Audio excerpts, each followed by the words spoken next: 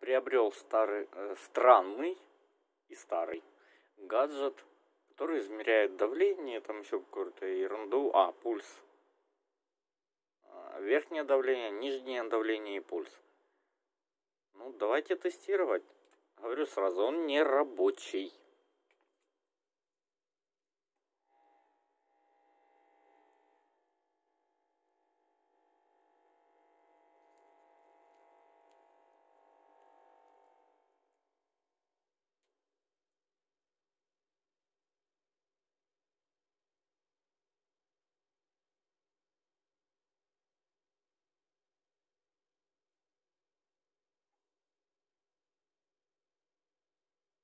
Хотя он и показал там пульс 102, давление верхнее, нижнее.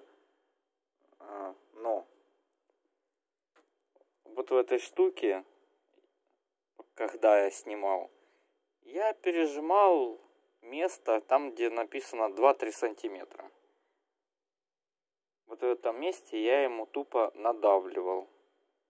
Там идет утечка воздуха. А если не надавливать, он вообще ни хрена не показывает. Так что, если ремонтировать, то не вот этот аппарат, а вот этот. Либо просто заменить.